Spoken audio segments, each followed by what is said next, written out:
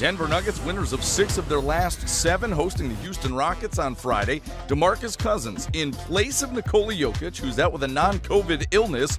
Cousins gets his first start of the season and makes the most of it. Spin move right there for the dunk. Then Aaron Gordon finishing above the rim as well. Gordon had 12 points. JaMychal Green, the steal and the dunk. He had 14. Meanwhile, for the Houston Rockets, down by 15 late in the second, Jalen Green, the rookie, rising up for the dunk. He had 18 points to go along with seven assists. Denver led 51 46 at halftime. Here in the third, Monte Morris, the rebound. Long outlet to Gordon for the flush one more time.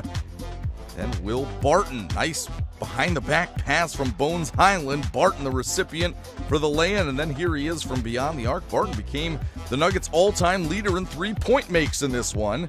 But the story was Cousins 31 points, nine rebounds in the ball game, making the spot start. Got the crowd into it. At the end of this one, Denver wins by 15, seven wins in their last eight. Meanwhile, the Rockets have lost 16 of 17.